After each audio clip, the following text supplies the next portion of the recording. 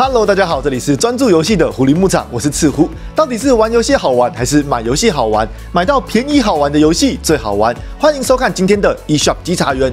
本周的 eShop 稽查员还是很特别，开头啊一样没有要推荐的特价游戏。最近特价的游戏呀，很多都是之前推荐过的。不过啊，一样会帮大家整理日本、香港两个地方的人气特价游戏哦。另外，虽然符文工厂五啊有推出实体版本。但稽查员的特色啊，就是带给大家初体验后的介绍，给大家一个初步的选购依据参考。所以透过这次的稽查员来带大家看一下，我做梦都想玩到的《符文工厂五》。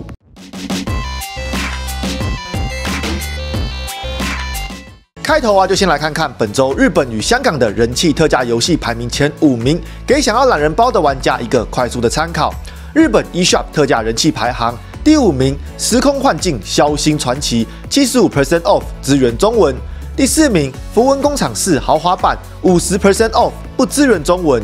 第三名，恶魔猎人三特别版，五十 percent off，支援中文。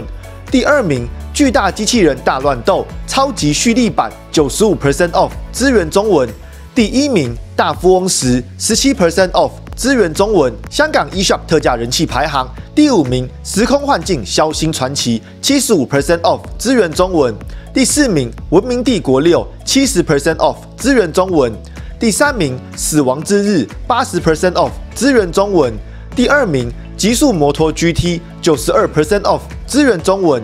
第一名，大富翁十，十七 percent off，支援中文。以上啊，就是目前日本与香港的人气特价游戏，在两个地区啊，大富翁时都拿下了第一名的位置哦。看来即使在 PC 上推出过，但 Switch 的吸带能力与同乐能力，还是让不少玩家愿意在这里买下来。符文工厂四啊，日区虽然有特价，但是日区并不支援中文。我在标示语言的时候啊，会根据特价地区来标示。如果要买中文版的玩家，要等之后了哦。死亡之日啊，目前又在特价当中。这款游戏在之前稽查员的扫雷有扫雷过，也是一款非常值得一玩的游戏。大家可以看看我之前的介绍内容。那么接下来就进入这个主题的下一个章节——扫雷环节。本周要来扫雷的就是我自己期待很久的《符文工厂五》。虽然我对符文系列的热爱程度非常高啊，但毕竟这次在呈现上改动了不少，所以我还是用扫雷的眼光来看待这款游戏。这款游戏到底在玩什么？实际上，画面改动之后的体验如何？游戏有没有什么缺点？就让 eShop 稽查员带你好好的一起来看一看。符文工厂系列啊，最初的出现是因为《牧场物语》十周年的缘故才出现的游戏，并且一到三代都是在 NDS 上推出，四代则是推出在 3DS 上。后来移植豪华版推出在 Switch 上面，并且也从豪华版开始，这个系列的作品正式支援中文。除了正统的作品之外，另外还有在 w 上推出的《未知大地》与《蓝海奇缘》。其中《蓝海奇缘》呢有在 PS3 上推出，一到四代的画面呈现上啊，都是使用俯视视角来呈现，让战斗跟农耕都可以用相同的视角来玩。而在 Wii 上推出的两个版本，则是使用 3D 建模来表现。会提这个啊，主要的原因是因为这次的五代。并没有沿用一到四代的视角设定，而是用了三 D 的建模。不过我自己的感受上，也跟 Wii 版本啊有一点不一样。这次的视角啊，在观看上，相较于之前的版本，距离会比较远，视角范围也会比较大，导致会有一点不容易找到定点，在跟踪上的体验呢，就会多少有落差。照理说啊，我应该要先介绍游戏的啦，但就是忍不住先说了画面。那我们就说回到游戏，符文系列的游戏啊，在我的频道介绍过不少次，但总是会有啊还没有接触过的人，就让我好好的跟你们推销推销，不是不是，扫雷是不能推销的，好好的介绍介绍啦。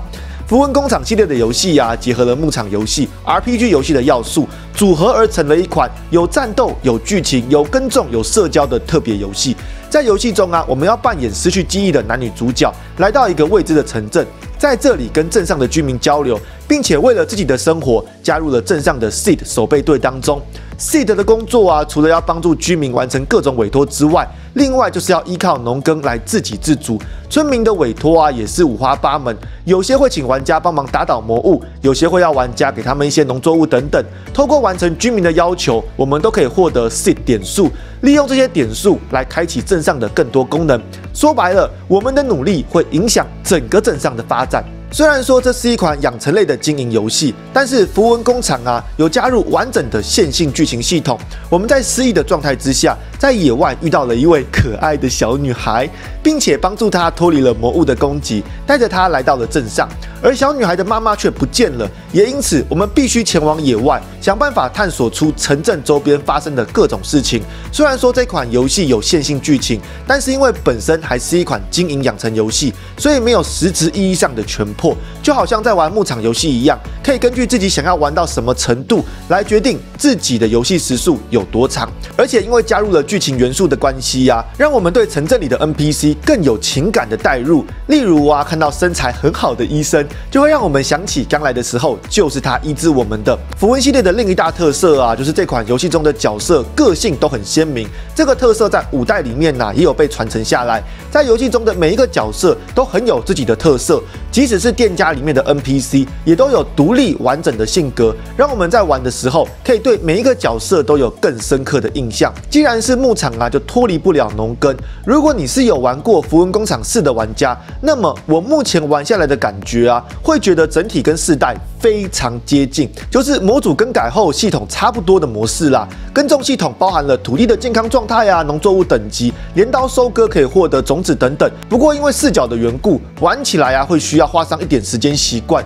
如果你们没有改设定的话，当你走进农田，系统会自动帮你切换成俯视视角，而且切换的速度很快。其实看了啊，有一点不太舒服。我自己也是在观众的建议下关掉了农田的视角功能。进去之后啊，自己调整喜欢的视角，感觉上会好上很多。另外，其他的各项系统啊，也都跟四代差不多啦。牧场对我来说的六大要素：耕种、畜牧、挖矿、钓鱼、采集、社交。目前呢，畜牧系统啊，我还没有玩到。挖矿跟过去一样，要拿着锤子去野外敲石头就可以了。钓鱼的部分呢，同样会有鱼影，只是目前感受上啊，我觉得钓鱼有比四代的还要好哦。四代如果鱼影游走了，要慢慢的等到它游过来。但是五代啊，我目前钓鱼的时候，如果没有鱼影，鱼过一下子会在钓竿附近生成，减少了不少的等待时间。另外，采集的部分这次也有修改，毕竟更改了视角与模组，在体验上啊会有落差，所以这次在战斗之后会自动捡起魔物的掉落物。另外，如果你手上拿着的东西附近也有，有些情况下是可以自动捡起的，就不需要一直按 A。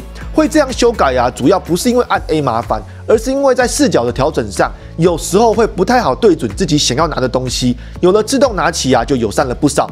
社交的部分呢，我觉得改动不多，但还是有别于以往。过去啊，我们都是看着二 D 的例会来感受到游戏的香味。这次啊，因为有了三 D 建模的缘故，有些角色的模组啊，也都做得蛮好看的。搭配上这次的二 D 例会，除了表情会变之外，说话的时候啊，嘴巴也会跟着动。整体的社交感受上真的是好了不止一个阶段。非常喜欢这次的设计。战斗的部分呢，整体的打击手感，我反而觉得薄弱了一点。过去因为是俯视二 D 的缘故，所以对于战斗的打击感落差不会到那么大。